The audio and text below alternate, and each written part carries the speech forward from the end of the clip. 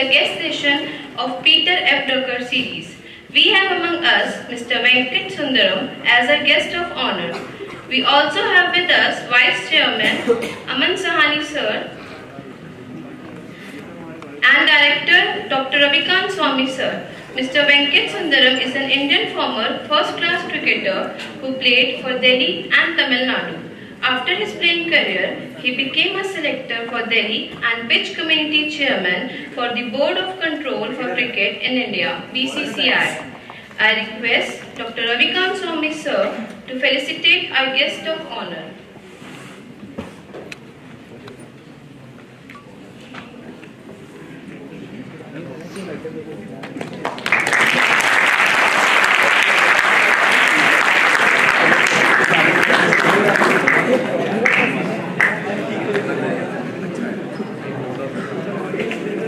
I now request Dr.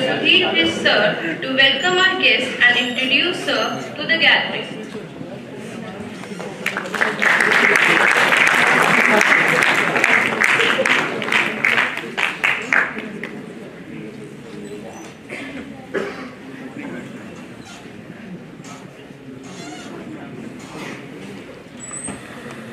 Dr. Swami, Mr. Sundaram, my fellow colleagues, the teachers, and my dear students. Can everybody hear me? Chandrani ma'am is there, ma'am. How are you? Okay, I thought I should greet her. So today is a very good day. I have been trying to chase Mr. Venkat Sundaram to come and speak to us. While I will introduce him briefly, I also want to tell you that he has come all the way from Southern Enclave to us. So can we start by giving him a big round of applause, please?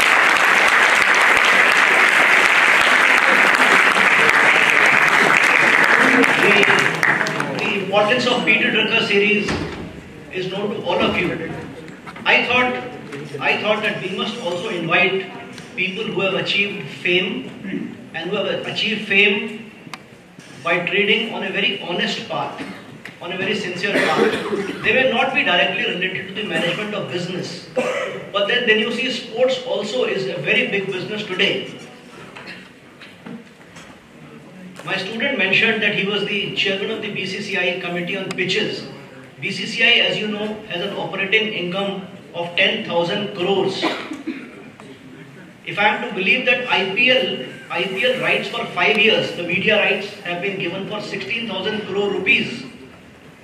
Oppo, Oppo the phone company, it pays close to 300 crore rupees to be the official sponsor of something. So sports itself is a very big business.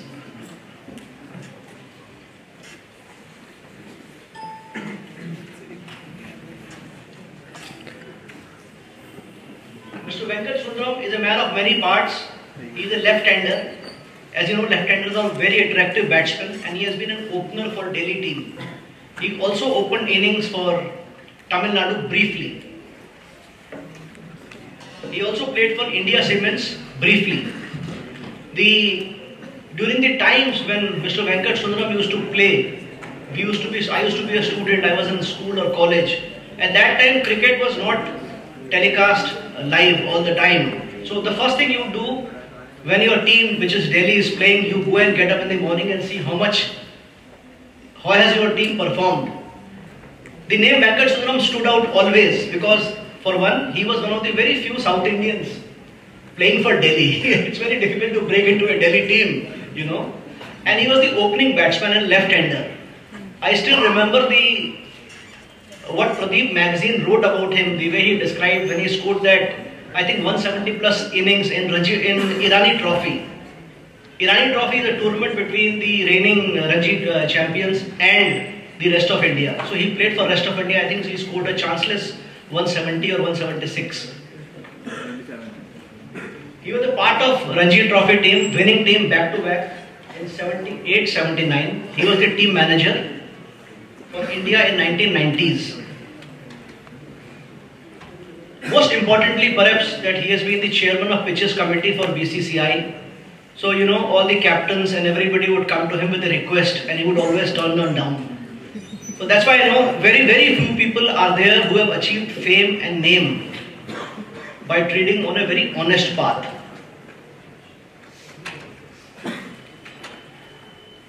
He was a member of Delhi selection committee. He is a very good commentator. I have heard his commentary on Doordarshan, on All India Radio and also for Radio Australia. He's a very good, he's a very good golfer also. I believe he plays golf with Greg Chappell, Roger Binny, Madanlal also sir, and Kapil Dev of course. He is a member of National Advisory Committee National Conference on Exposition of Drone. So see, he's a, he's a man of a uh, lot of talents from cricket to the drone technology. He's a speaker par excellence. He's a courageous man who calls spade and spade. So let me now invite him to deliver his lecture. Thank you.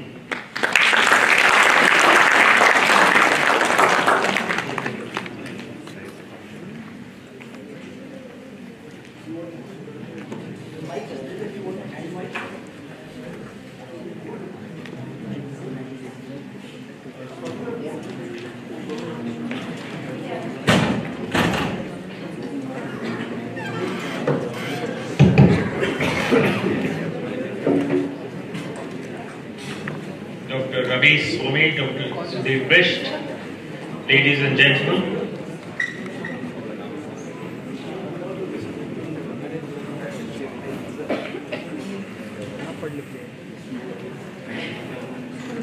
It's after many, many decades that I've entered a university and a classroom. And usually my entry in my classroom in my college days was through the back door. So it felt, it felt familiar to come here and meet all of you It's a great honor to be here, and I'm very impressed with the facilities that you have here. When we were students, we didn't have such nice lecture rooms or with so many modern accoutrements, but it is important that you should update your facilities and I'm happy that the students are having nice chairs to sit on and enjoy the lecture in a comfortable manner. I hope all of you can understand English. Is that right? Yes, Good. Then I'll stay in English. Though I can speak Hindi quite fluently as well. So if anybody wants to ask a question or something, feel free to ask in Hindi or English. Well, I'll, the, the theme of this lecture is leadership and sports. And I like to stick to the topic.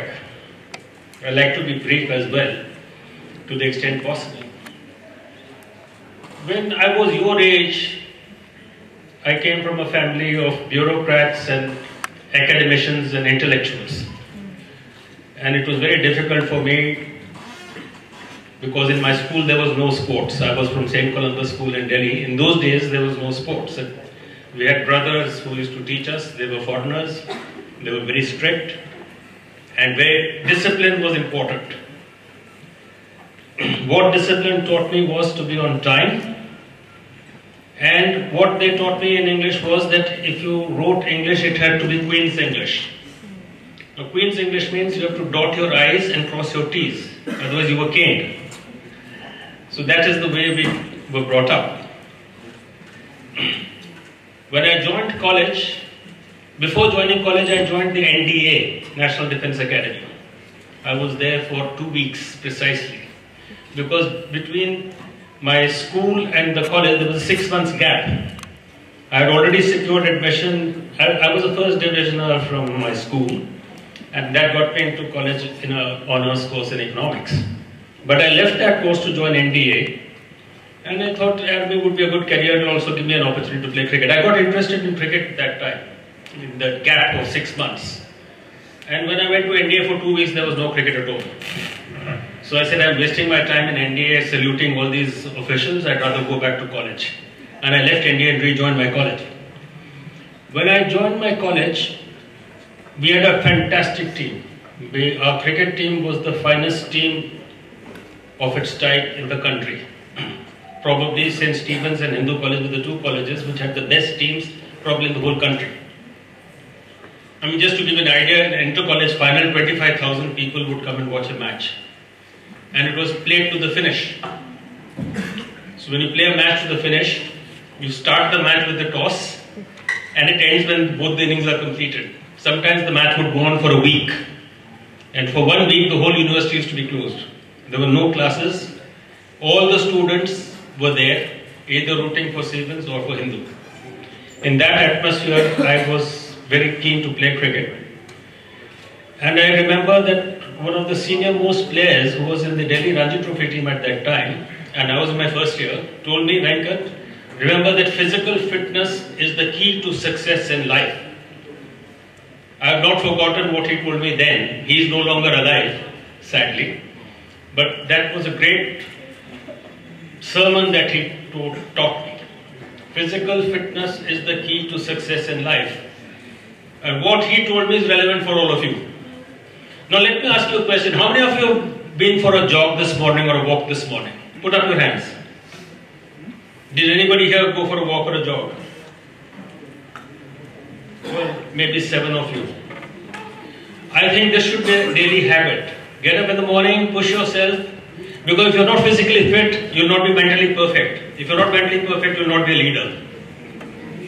Only those who are physically and mentally fit can lead. If you're not fit, you cannot lead. I remember the great Yasser Arafat, who was a Palestinian leader. Many of you would have heard of him. He was in an interview in Doordarshan, I remember, and I was watching that interview. And there, this was not an interview about his politics, it was about the man. So uh, they asked him, How many hours do you sleep in a day? He said, I sleep two hours a day. So I said, man who sleeps only two hours a day, how can he work? So they asked him, What do you eat? He said, I eat very little. I hardly eat. I eat maybe a sandwich.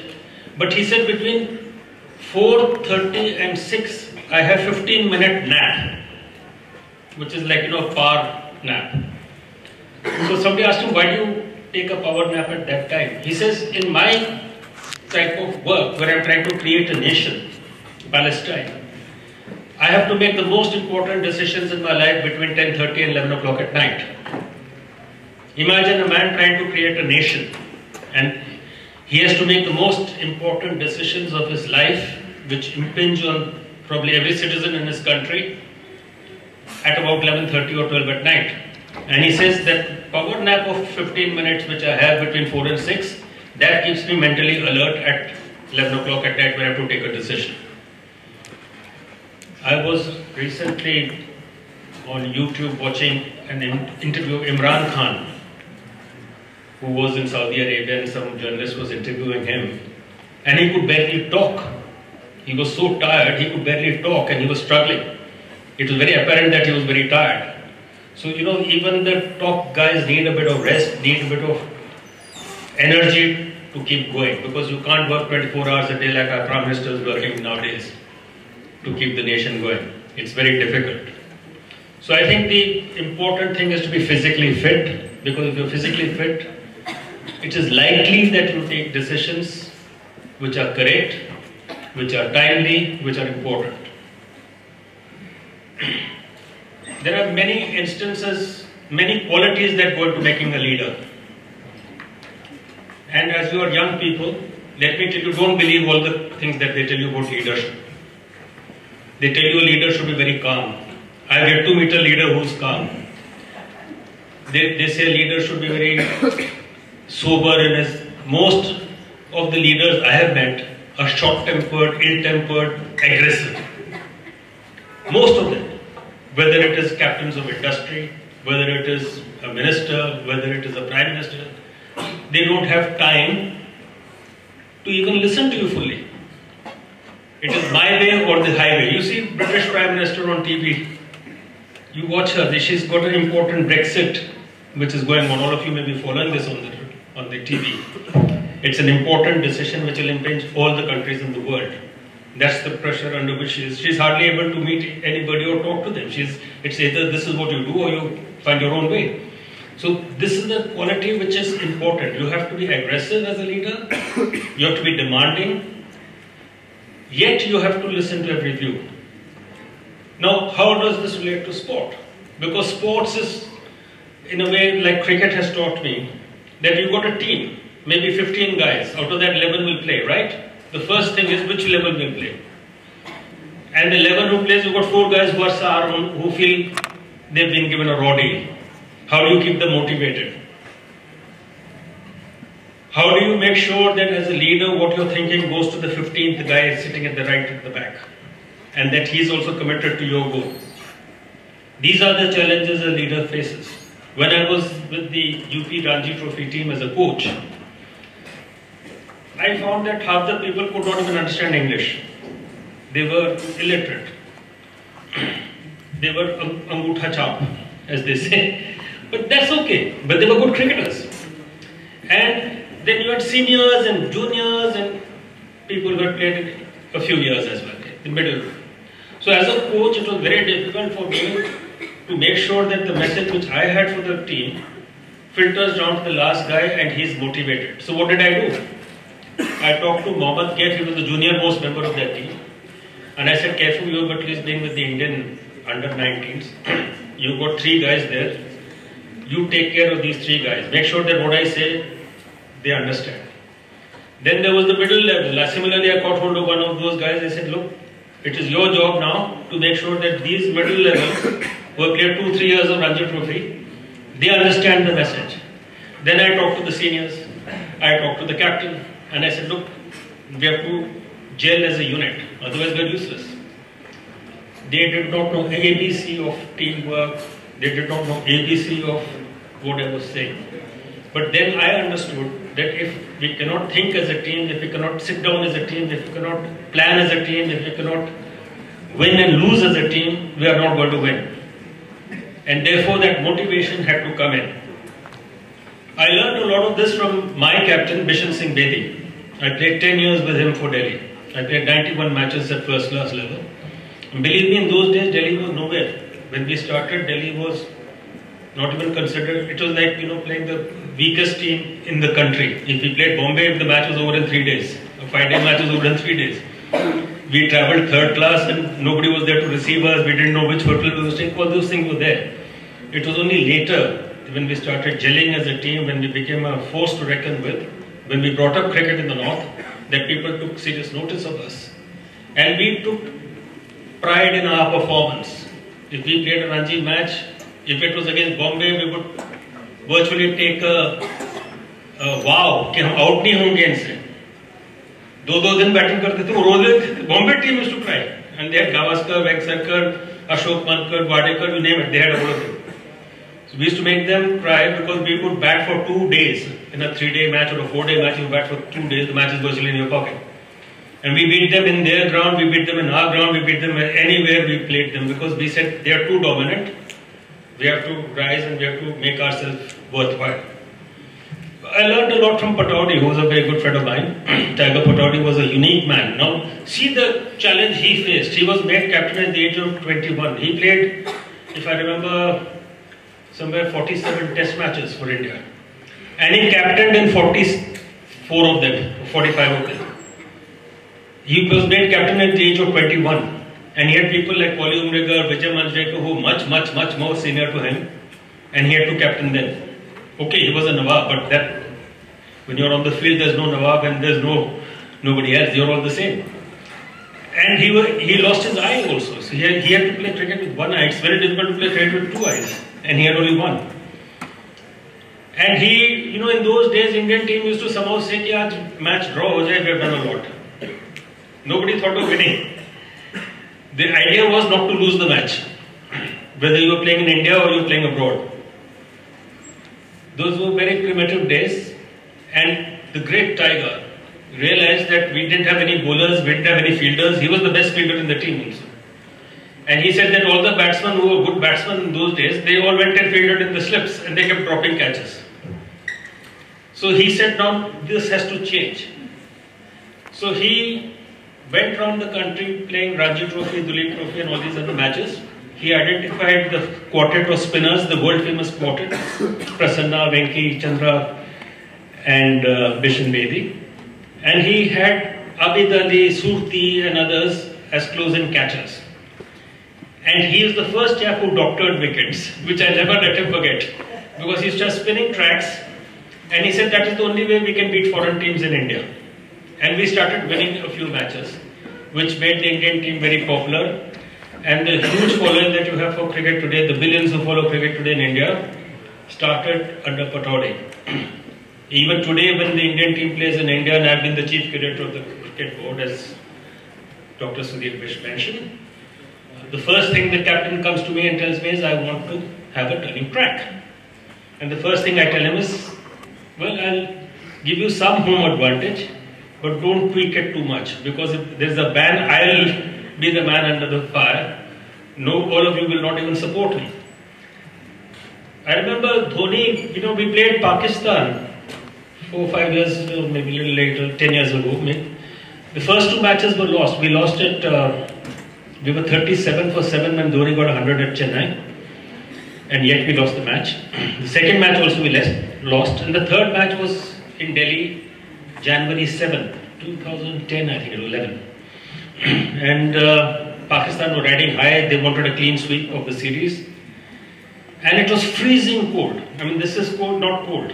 I mean, this is 11 degrees yesterday. Delhi was 7 degrees, I remember, in that day. And normally in January, because of the fog and all, the matches are not played in Delhi. But that match was scheduled in Delhi because it's the capital. And the match started at 12 o'clock in the afternoon. And uh, I remember Dhoni coming to the ground a, a day before the match. And first thing he did was walk up to me.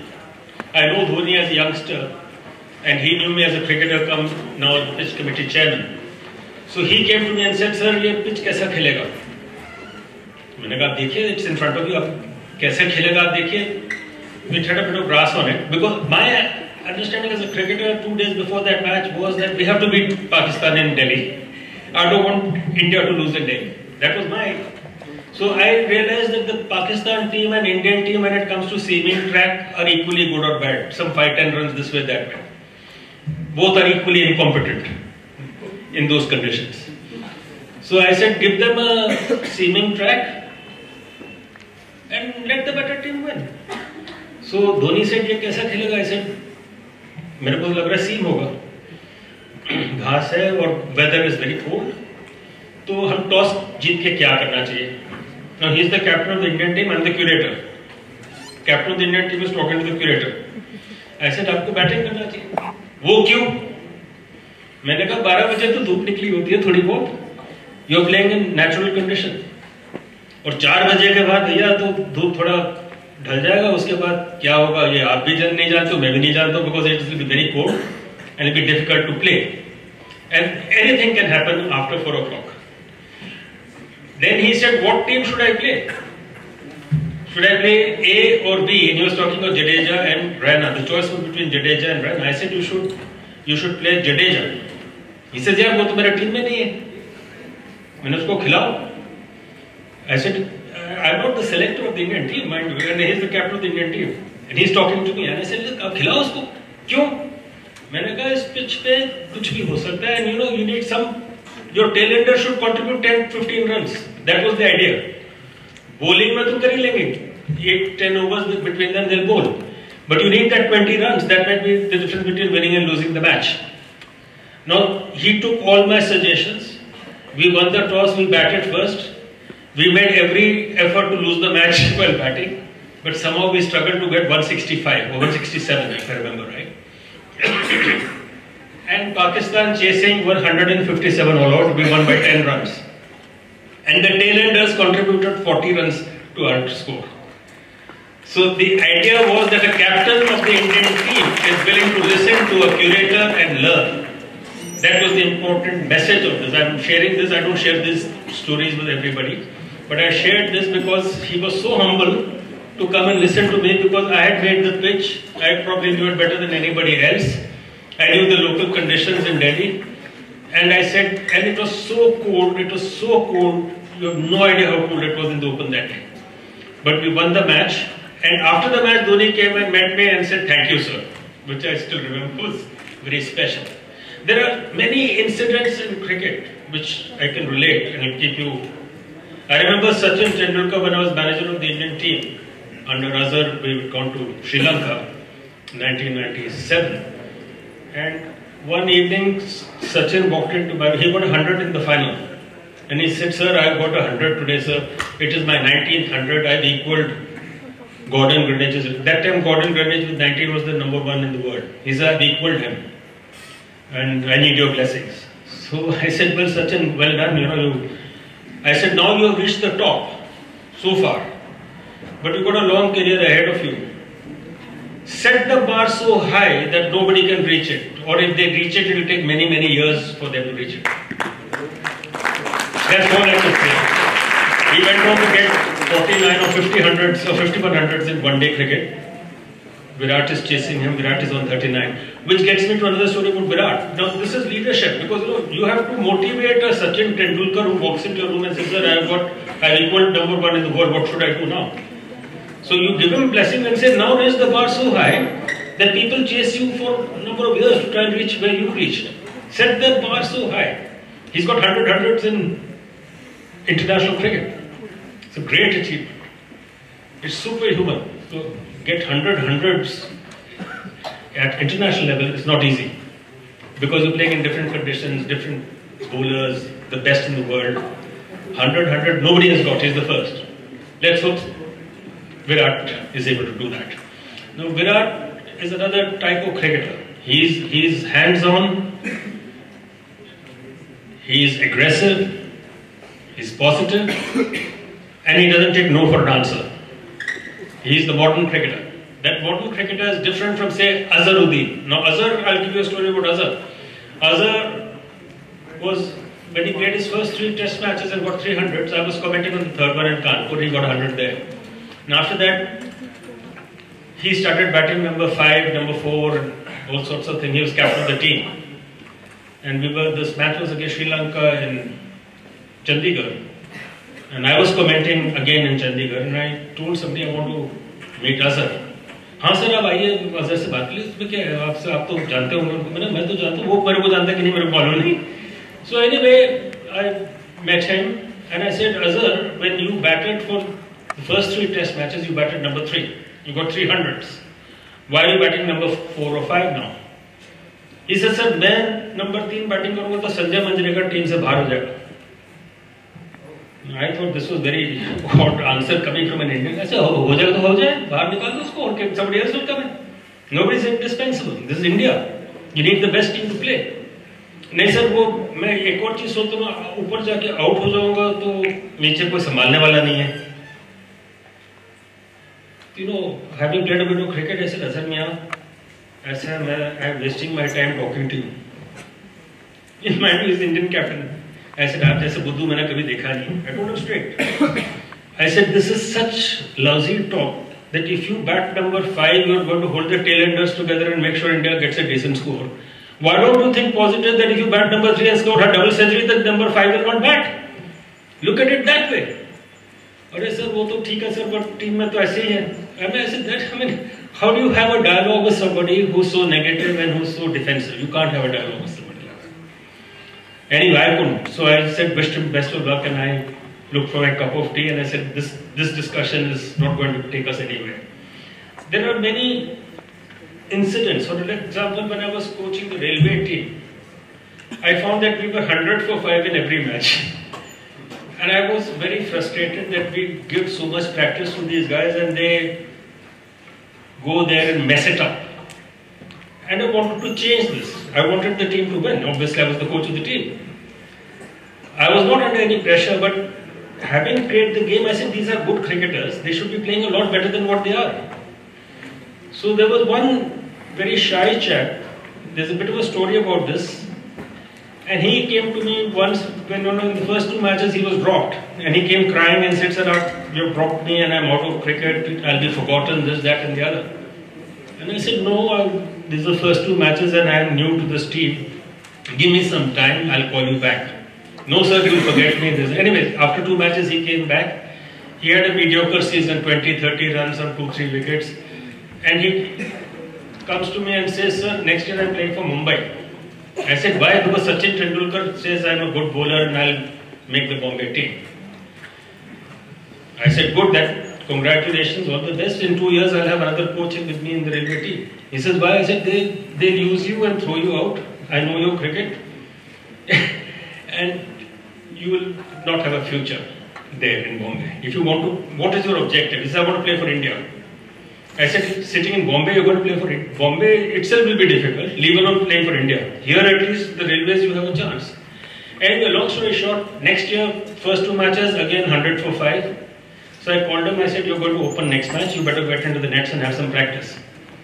His reply was, sir, nobody has told me till today that I can open the innings in a match.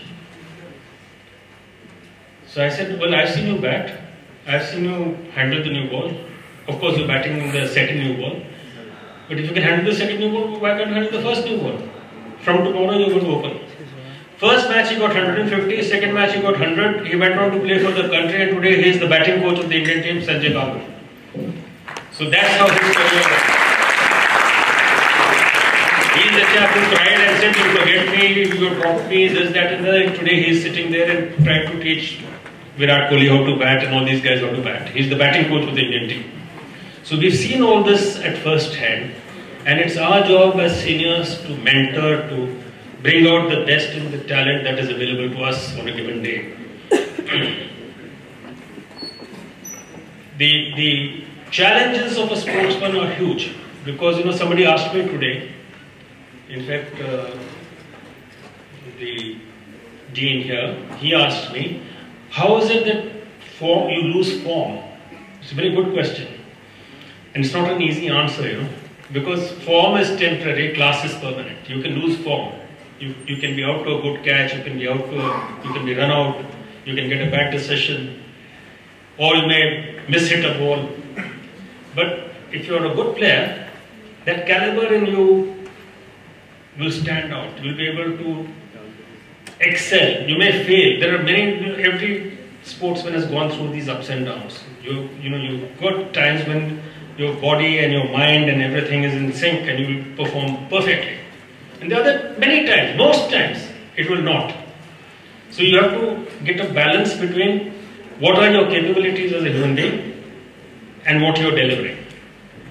You know, you're all management students and mass communications and whatever. These type of challenges you'll face in your careers.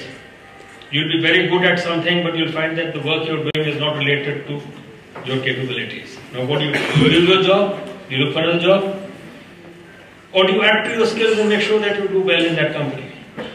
Let me ask a question here, because most of you will be joining companies or whatever. What is a company? Can anybody answer? What is a company? Is a company money? Is it sales? Is it marketing? Is it all of this? What is a company? Can anybody answer here? No? Okay. Let me tell you what a company is. A company is its people. It's the people in a company that make it. It's not the managing director, it's not the director of marketing, it's not the director of sales, it's not the director of production. It is all of them. A company is as good as the people it has. If you've got good people, you'll have a good company. Now, what is good people? Good people is qualified, motivated, eager, enthusiastic, determined.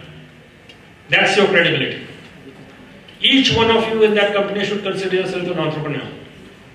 If I am doing some work in that company, I am contributing to the success of that company. Whatever work you do. If you're a telephone operator, you have to know how to answer that call.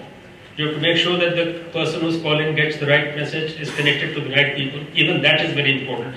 In, invariably, the first person in a company that you meet is the telephone operator or the gateman. When I came to this institute, the chowkidar at the gate stopped me. That's the first person I met before coming in. So it's very important that everybody should be trained, everybody should be motivated, everybody should be absolutely part of the system. And the same thing holds in sports.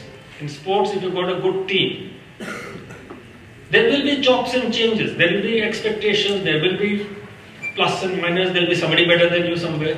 So you've got to always raise the bar. You always got to motivate yourself and see that you do better. Because if you don't, somebody else, somewhere else will do and he will ride over.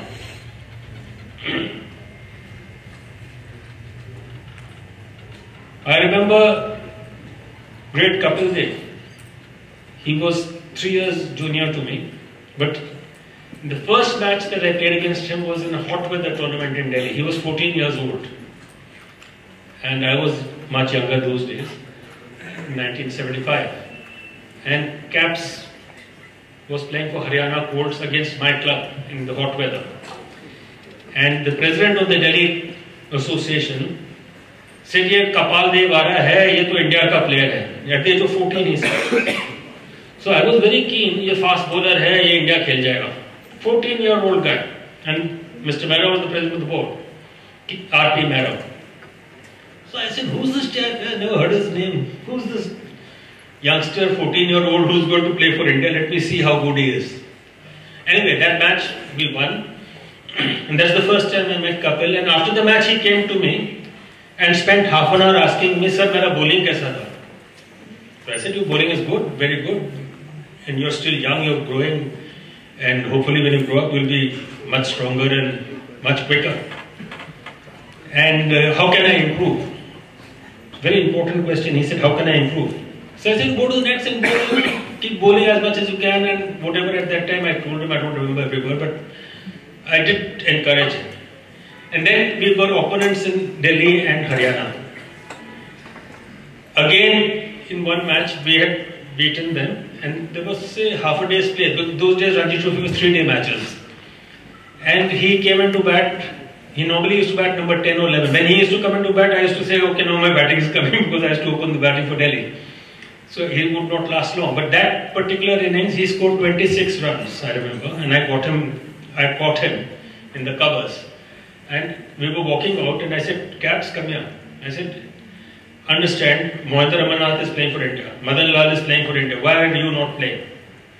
आप बताइए sir मैंने कहा you are only bowling batting तो करते नहीं आज अच्छा batting किया so next time you go you bat in the next first and then bowl हाँ सर बिल्कुल ठीक है कल से मैं ऑलराउंडर में मीडिया को बोलने वाला हूँ कल से चंडीगढ़ में कि मैं ऑलराउंडर हूँ कल से मैं बैटिंग करूँ he score 5000 runs for India according to me that is 5000 less than what he should have scored he was so talented he could have scored 10000 runs for India He's a brilliant cricketer. And he, now he's a brilliant golfer. I, I, find it very difficult. I scored 300s or so against him in Ranji Trophy, but now I find it very difficult to beat him in golf. He's a fantastic golfer. He's a great sportsman and a very humble human being. You see, you read about Ratan Tata, what a leader he is of the Tata Group. You read about him. Okay, everybody's got plus and minus, but you read the humility that comes out. See the thinking, what he went. When, when that Bombay incident took place, when the Taj was attacked, he went personally. He, all the people who worked in the Taj and all the people who were injured, all these suppliers, all the people, their salaries were paid right till the time the Taj was rebuilt. He didn't stop their salaries. And not only that, all the people who were injured, all their medical bills were taken care of. See the, see the humanness in that man, see the qualities of that great person. It's, it's an inspiring story, you know, putting together in a, in a terrible situation when everybody in the country was shocked by what had happened in Bombay, for him to rise above that, to think of the pain that other person is going through, and to motivate them and say that I'm with you, that your salary is safe, that don't worry about it. And he kept paying them till the hotel was rebuilt and all the people were back to work. These are the qualities of a leader. This is what makes Tatas Tatas. And if you've got one Tata, you can have so many more. Tomorrow you will be the leaders who will be managing companies. Remember these things. These small things matter a lot. It's not the, you know, it, the leadership is a number of small things being put together to achieve excellence. If the SEAL, the American SEAL, Navy SEAL, was able to nail Obama, Osama bin Laden, see the pressure that must have been on Obama as the president who ordered that. It must have been so difficult. He's putting, he's sending his people from Afghanistan to Pakistan. Hopefully the information is correct. Hopefully the man whom they're chasing is Osama bin Laden. and they wanted him out, preferably alive, if not alive, then dead. See the pressures that must have been on him to take that decision, to send those people. That's leadership of the highest quality under pressure. So in, in sports, this pressure is there every day. Even tomorrow, tomorrow is the match, the final match of this one-day series is tomorrow at Melbourne. I'm sure half the Indian team will not be sleeping today, tonight. You may be Kohli, you may be Ravi Shastri, you may be anybody. All those guys will be tense because they know the whole nation wants them to win. That's the pressure of the moment. Now, how they handle that pressure depends on how they're prepared for it. This is the thing they'll have to face every day. Whether today it is Melbourne, tomorrow it will be the World Cup, day after it will be New Zealand, whatever. So this pressure, to take that pressure, to absorb that pressure, to deliver under those conditions, that is what makes you a quality player. That is what separates a champion from the rest. So if you're in a if you're in a business environment, or if you're a photographer, there's mass communication. Somebody took photographs of me. The photograph is a thousand words. Now you have to take that photograph, which speaks for itself. It's, it's more easily said than done. It's not easy. Uh, it is spontaneous. It is one moment. You have to you have to absorb that this is a picture that's coming out. This is a moment that I have to click. It may be a split second. The ball hitting the stumps, the bail on the top, the ball there, batsman beaten, hands up, and that, that's the picture. That's the difficult thing. Now, if you if you are so good at your photography that you can understand that and capture it, that makes you a leader in your own field. what I'm trying to say is that sports teaches you that you can be a leader in any field. You can be a leader as a photographer, you can be a leader as a talker, you can be leader as a batsman, you can be leader as a captain. But every day in your life you have to be leader. You have to lead always because tomorrow there will be children younger than you, they look up to you. If you're not a leader, you're setting a bad example. So every moment of this life, you're challenged. You're challenged by peers, you're challenged by seniors, you're challenged by juniors. You have to be at your best all the time. That is what makes this journey of life interesting. You can't win it always, but you have to accept, and this is what sports teaches you to accept defeat. The only time that you can accept defeat gracefully is in sports. When the umpire gives you out and you walk, you don't throw the bat at the umpire for giving you out. Hopefully not. But when he gives you out, you may be the strongest man in the world, you may be Hitler himself, but the umpire gives you out, quietly walk. Sports teaches you that. These are qualities which you learn. When you learn to push yourself, what is what is your barrier? For example, you know, you talk of a marathon runner, he gets a second breath. You might have heard this term. You're all journalists, some of you are journalists, learning journalism. Second breath. What is the second breath? You run 14 kilometers, 15 kilometers, 18 kilometers, 20 kilometers, and then you're about to fall. You're so, it's hot, it's humid, you're sweating, you're dehydrated probably, you got cramps coming. All the physical faculties are on reverse mode almost. And suddenly push yourself. No, I'm going to go another 100 meters and see, I'm not going to give up. and suddenly you feel that you've got energy again. That's the second breath. if you played sport, you'll understand what a second breath is. So that's what you should look for rather than give up. It's very easy to give up. The best leaders are not losers. They learn lessons from losing. If you lose a match, you lose a debate, you lose an argument, you lose something. But try and understand, reflect. Why did you lose? What did you say? Were you cool? Were you thinking correctly? Have you done your homework? Very important to do your homework. If you don't do your homework, you're not prepared. If you're not prepared, you're not going to be at your best. So always try to be at your best, whatever you do. Make sure you, your turnout should be good. You know, we used to say that, you know, in those days, you know, we had to ask our parents for everything when we were playing. There was no money. When I played my first Ranji Trophy match, I got 6 rupees 50 paisa per day. That's all. Now, if I needed a shoe, it used to cost 25 rupees. If I needed a socks, it used to cost something. If I needed a trouser or a shirt or whatever, bat, bat and was 100 rupees in those days, was a lot of money. So you have to understand that everything is not going to be dished out to you on a platter. You have to learn to fight for your rights, you have to learn to fight for your. Now take Rishabh Pant. He was from a, from a village near Karnal. At the age of 15, he came to Delhi to play cricket. He didn't have money on him, he didn't have anything. And he used to go to Gurdwaras and langar. He came under a good coach. Somebody helped him with a single room later on, two years. And he slowly made his way into the Delhi team after two, three years of struggle. It was not easy. Today he's signing contracts worth crores for endorsement. But that's his hard work.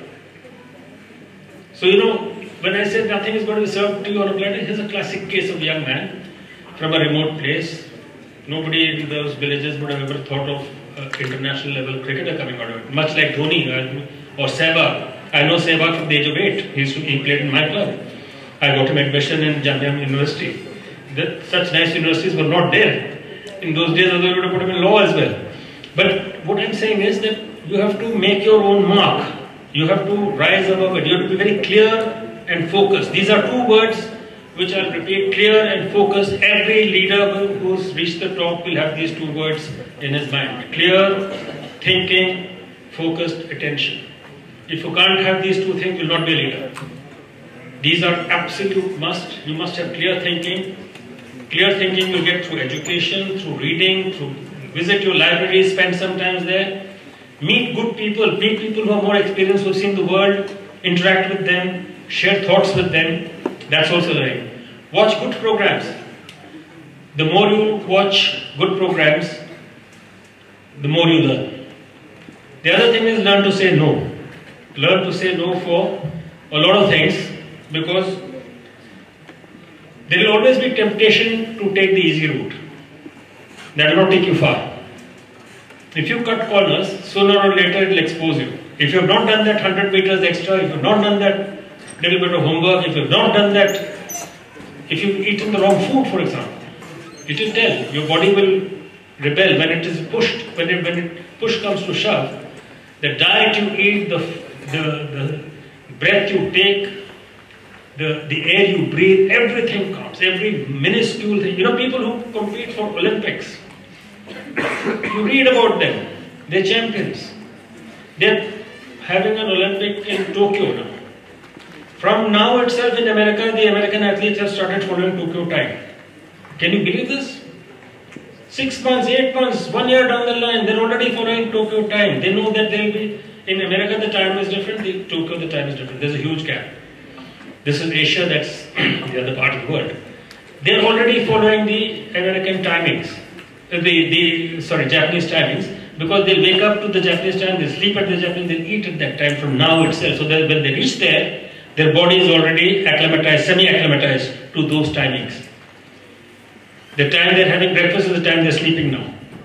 So all this will change. And if you have to win that Olympic battle by 0.01 of a second against the fastest and the finest in the world, these things count. These small things make a huge difference what you eat, how you sleep, how many hours. So this is the this is the minuscule thing. Like you take F1. Many of you may be following F1. I remember when I was in college, there was a film which I saw, F1. It was called F1. Keith Monthan was the actor there. And the point zero zero zero one was the difference between the guy who won the race and the guy who came number eight. Point zero zero one second, split second. Literally split second. So those are the type of timings you're looking at. Those are the type of things you're chasing at the international level. At your own level, you have to now excel in the field you've chosen. Try and try and see what value you can add. How can you improve? These are the type of questions every sportsman asks himself every day. How can I play better? How can I contribute more to my team? How can I be of use to my captain? You know, when Tendulkar bowled that over in the Hero Cup, so the last over of the match, there was Kapil Dev there, there was two others, uh, Manoj Prabhakar, Kapil and And Sachin virtually snatched the ball out of Azhar's hand and bowled it. We won the match against South Africa, if you remember that match. And that's the quality, no, that's the quality which a leader is looking from from his team. That somebody is willing to stand up and say, Captain, I'll do it for you. And he performs. What an asset for that captain. Virat Kohli, day before yesterday, said that he's honored to have Dhoni in his team because he finished the match. What, a, what an asset for a captain to have a finisher in his team who can win you a match in that situation. And we won in the last over with three, four balls to spare. So these are the things that you should learn from sport and apply to your own individual circumstances. How can, how can you be that Dhoni? How can you be that Tendulkar who can stand up for his captain when it's required most? These are qualities which will stand you in good hand. Be absolutely, you know, I was talking to you about that when we played, we didn't have money. And I remember one of my captains coming to me one morning, if we didn't have a shave, he said, next time you come unshaven, I'll send you home. You have to come shaved. You should look a cricketer. You should dress like a cricketer. Your gait should be like a cricketer. When you walk onto the field, your confidence level should be high. Everything about you should be good. If you're not dressed properly, if you're not shaven, if you don't look the part, you cannot perform. So therefore, I feel that these are small things, but they're very important. In England, these things are taken to the other extreme. These things are very particular. If you're not properly dressed, you won't get a job. If you're not properly equipped, you will not be able to get enter any field where you want to enter. So these are small tips, but they're important. Don't ignore the small things in life. They are very important. Just as I say that you must challenge yourself, also see how you can be humble. Humility is the mother of all virtues. You see the greatest champions of this world, they talk very little. They, they don't talk about themselves. They only try and praise the other people. Learn these qualities. These are good qualities. And since you're all young, since I started by saying that physical fitness is the key to success in life, which I learned in my first year, I'll only leave you with one thought. That it's very easy at your age to get into wrong company, to get into bad habits. Don't get into smoking, it will not help you at all. Don't get into drinking unless you drink of your own money and then also be responsible. Don't drink and drive. And finally, don't get into drugs ever. Thank you very much.